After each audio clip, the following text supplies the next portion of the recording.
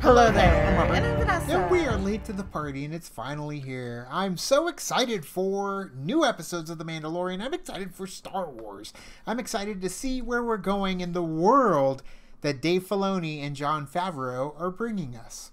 Yes, especially with this episode, we've been it's been speculated for such a long time and now it's finally here. I'm looking forward to seeing what we have in store for this episode. I know he's on his way to meet Ahsoka, so I'm looking forward to seeing Ahsoka in live action. She's one of my favorite characters, so to have them bring her back in uh, full live action is going to be awesome. And everyone's saying Filoni's directing this episode, and of course, Filoni wouldn't let anyone else get their hands on Ahsoka. It's all him, so it only is suiting for him to tell us a tale. But let's get into this reaction Now. The anticipation is insane. What is happening? Is that Michael Biehn? Looks like it a little bit, yeah. Yes! What? Oh, snap! Damn, girl.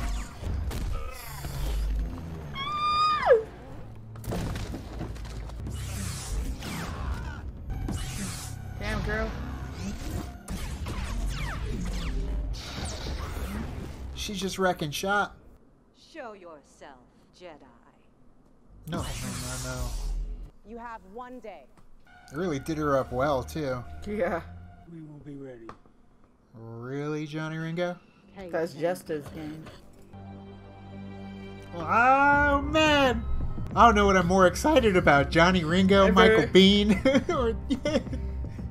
I'm loving this music, too, behind the theme. Come on, buddy, get back. Of course. Hey, you want the thing. Look at that little crawl. seatbelt, baby, seatbelt. I'm digging the sound effects that they're using for the Force. They did the same thing when uh, Ahsoka was taking those guys out, except hers sounded different. It was like a vibration. Pachu, pachu, gotcha. Gotcha. I love that they didn't waste any time either. It's called the Jedi. We're just put her right straightforward, right up front. it's a long walk. this needs to stay in the ship. They're gonna use you against her. Possibly.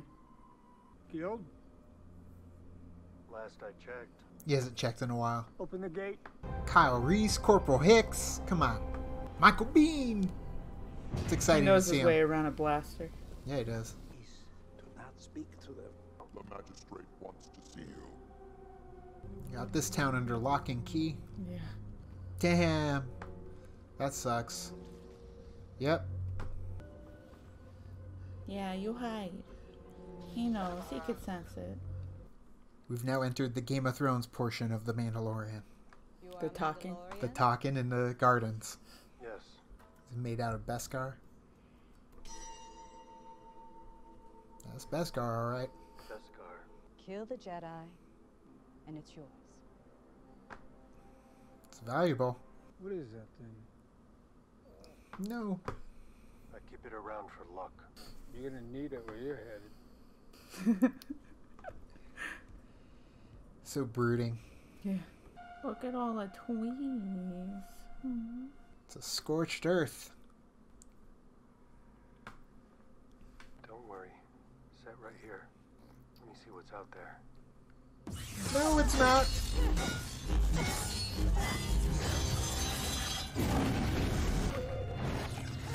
Yeah, man, that's Ahsoka you messing with. Yeah. Katano! Tell her. Bo Katan sent me. I hope it's about him. Shed some light, please. Yes. I love that shot too with the moon in the back. Yeah. Come on, yeah. There you go. She's like, his name is Stormageddon, Dark Lord of all. Do you understand him? Grogu and I can feel each other's thoughts. Grogu. Grogu? Is that his name? That's his name. Oh, I knew his name, Grogu! I like it. He was raised at the Jedi Temple in Coruscant. A wise Jedi master named Yoda. Oh man, the Yoda music. That's a nice little touch. Mm-hmm. Can he still wield the Force? The Force is what gives him his powers. It is an energy field created by all living things. I've seen him do things I can't explain. My task was to bring him to a Jedi. She's not a Jedi The. Jedi Order fell a long time ago. So did the Empire, yet it still hunts him. True that.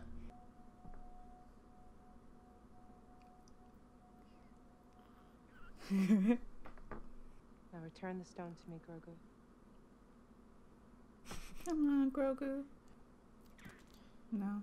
He's been through a lot. Yeah, he's afraid. Sense much fear in you. Grogu, yeah, take the stone. Yeah, the little thing. Yeah, he knows what he wants. You know what you want, You Grogu. this?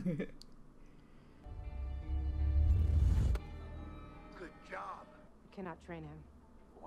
What? His attachment to you makes him vulnerable to his fears, his anger. All the more reason to train him. I've seen what such feelings can do to a fully trained Jedi Knight. yep, First hand. she knows. The Just magistrate walking away. sent me to kill you, and I'll help you with your problem. Two HK-87 assassin droids. I love that they're HKs. Not even your laser swords would be able to protect you from. Laser swords. She plundered worlds, destroying them in the process. Yeah, it looks like she's still in business.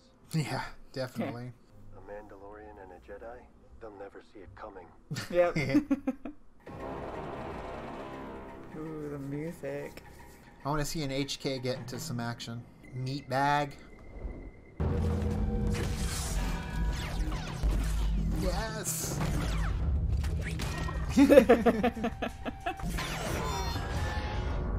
Ooh, that was a good shot right there too. Look at those HKs. That's Ahsoka. Yeah. We just killed your Mandalorian. Bounty hunter failed. Here we go. Execute them. Oh Then go no. door to door. Yeah. Oh, the little old man was coming to help too. He was gonna step up, Yep. even without Mando there. Just slice and dice, man. You're being hunted. You're having so much fun with this episode. Ooh. That was So a nice sick. shot there.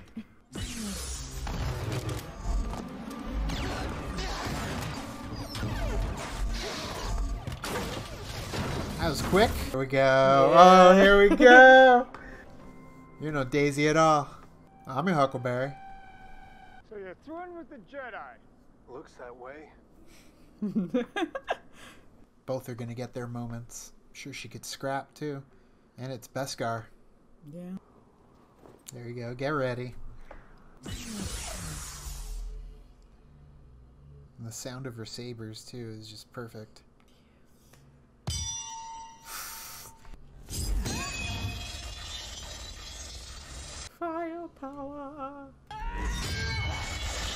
Love the art of the fight. Who do you think's gonna win?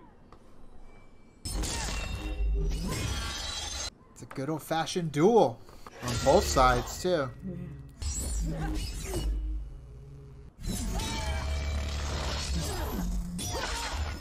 Oh no. that was like the closest look at the hilt we've gotten. Willing to lay our lives down for the right cause. I love that he's rocking a shotgun too, Which this is not. just like Corporal Hicks. She's just playing with you, girl. So intense. Your side one. Sounds like you win. Yeah. Yeah. No, but where's the other HK? HK87. No! Ooh, he got you. Bested again. Yep. You know better than to get yourself into a duel. Come on now. Nope. No! right in the head. Where is Grand Admiral Thrawn? Are you? She said. What? yeah, but where? If that mean that maybe Ezra? Because Belongs with the Mandalorian. He was leadership too, man. Doesn't even need to say a word, but they said so much about his character. Yep. Look at him. I cannot train him. Go to the planet Tython. There you will find the ancient ruins of a temple that has a strong connection to the Force. Then what? Then Grogu may choose his path. There's a chance a Jedi may sense his presence and come searching for him. There aren't many Jedi left. There's at least one going around calling himself a Jedi. Luke Skywalker.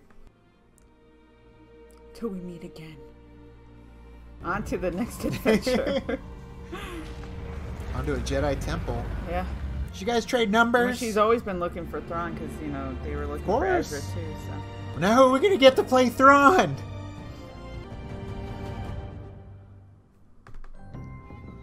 Of course, Mr. Dave Filoni. the little cat. You guys see that meme with the cat bouncing back and forth to the music? And then 10 minutes later, he's still doing it. The kid has a name! Grogu! Grogu is his name, so much revealed in this episode. Yes. Light has been shed on things going on in the Star Wars universe. Uh, I had to reach back there and grab. This is what is incredibly uh, important at the moment for me.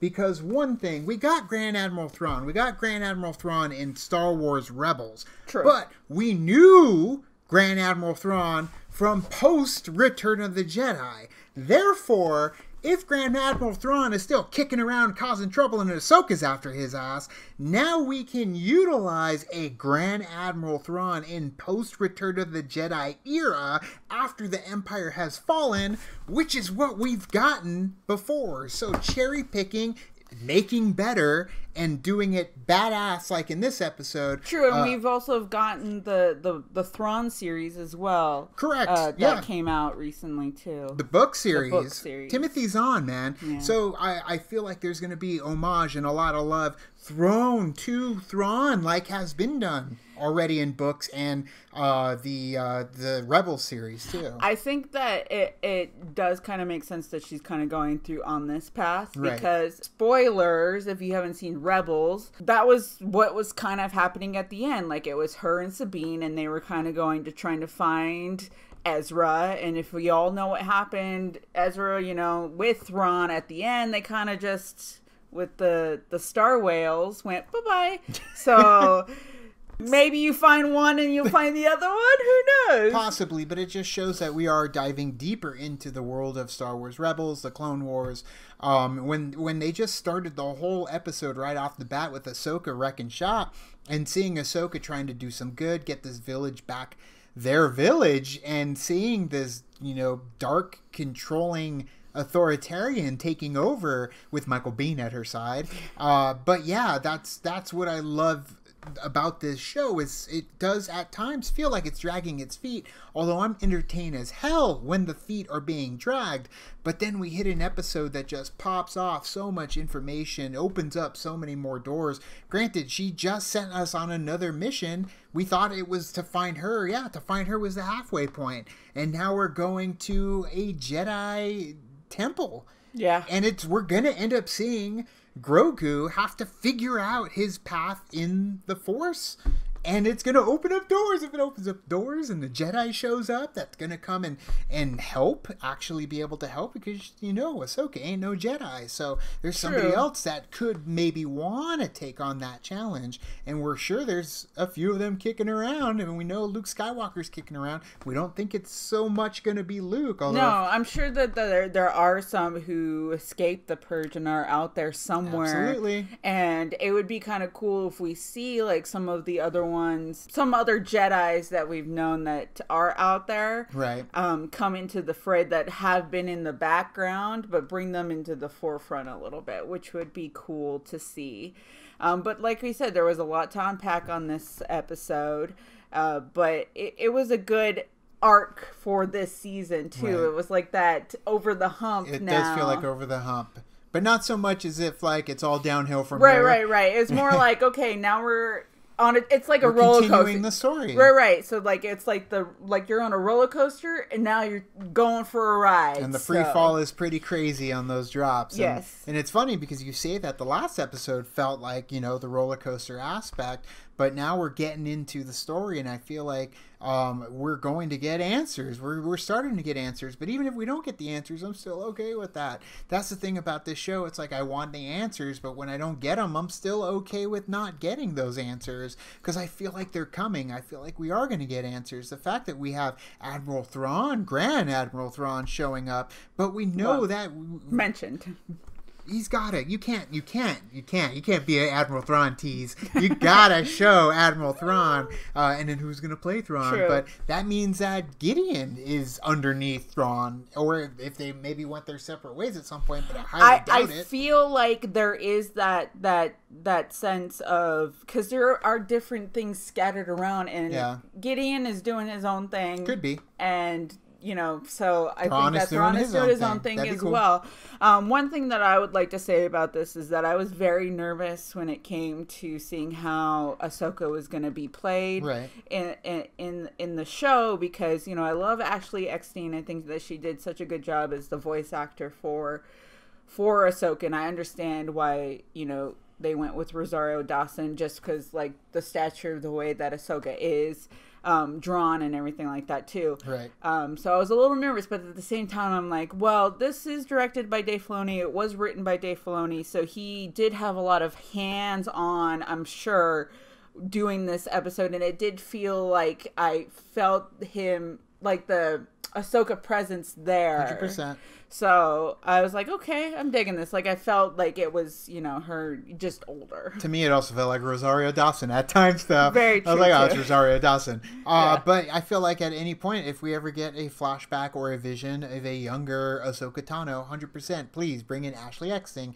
to play the younger Ahsoka Tano. It doesn't even need to be, you know, for like a whole series. Don't give her a whole series. But if for some reason a vision or a flashback comes up, she absolutely could play the younger version of Ahsoka. But either way, we're getting that badass lightsaber battling, the beautiful imagery of the duels, the two duels taking place. Uh, amazingly done. I, I was very happy with the execution of Michael Biehn's character, no pun intended. Uh, I love Michael Biehn. Uh, I'm so happy that they brought him into this to have him for an episode. Yeah, I'm bummed that it's it's done. It's a one and done, but at the same time, like it it was executed well. I mean, he was that number two, that that jerk, you know, that's uh, quick on the draw when it comes to uh, seeing the threat. He's he's very intelligent too. Yeah. Like he heard the ting and he's like, "Well, looks like you're side one," and he still knew how to get out of it. But at the same time, man, you're dueling against the Mandalorian, just like once he was dueling against Doc Holliday. And again, yeah, it did not work out for him. But yeah, I don't know. Maybe he had like protection and he comes back, but that's wishful thinking. He's dead. Uh, they would have He just pulled uh, Clint Eastwood. yeah, there you go. Just throw in a little Marty McFly action going on. But man, the music too in this, you got that little homage to Yoda's theme, uh, the Dagobah theme. You know those those amazing Yoda, very uh, intimate theme that I love about. Uh, that score so getting that just a taste of it here that just shows uh, that ludwig Göransson has no problem utilizing the old school theme if it is Very small, suiting. of course. Yeah, very small. and That's all you need to do. Just a touch. that's all you need. Just a just a little taste. Um, but Grogu, Grogu, man, I'm Grogu. so much going. It's it's there's so much more. There's so much more to it. His there's is Grogu. there's so many more ways we can go, and it's exciting uh, to see where we're headed, where we're going, and uh, we're where it's going to take us in this tale. Uh, and we're just along for the ride with you guys. You guys are here with us, just enjoying all these episodes and all this fun for the tales that they have yet to tell us in the world of the Mandalorian. And we're gonna get Obi Wan. We're gonna do this all over again. Uh, we're gonna get the Cassian Andor series. We're gonna do this all over Yeah. again. So we're in the long haul for these Star Wars stories. As long these are the Star Wars stories. Okay. Either way, guys, thank you so much for watching our reaction to the Jedi. What did you think? Obviously, let us know down in the comments below. So many of you were very right about the predictions, so you got a pretty keen eye on where this is headed, uh, and we're really looking forward to to getting there. Again, you can check out our full episode watch along, skew up the episode on Disney Plus, watch along with us on our Patreon. Thanks for everybody that's joined up so far since we started The Mandalorian, and it's just going to get crazier from here. So Yes. thank you guys. You can also like and subscribe. And do the thing on our Facebook, Twitter, Tumblr, Instagram, Stardust. All the social networking gin joints, you know where they are. Thanks so much, and as always, now it's time to say goodbye. this party is over. Bye. Bye.